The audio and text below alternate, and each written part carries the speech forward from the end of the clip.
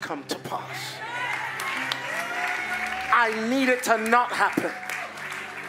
I need to wake up the next morning and something has shifted in the nation.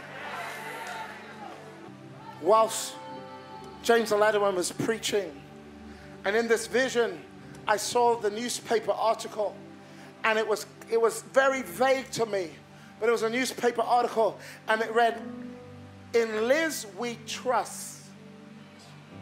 T R U S S. You know, kind of a play on words of in God we trust. He said, In Liz we trust. And I heard the Lord say to me that even though I have not found a person worthy, and even though uh, the UK is in a crisis moment, I can still raise up a transitory leader.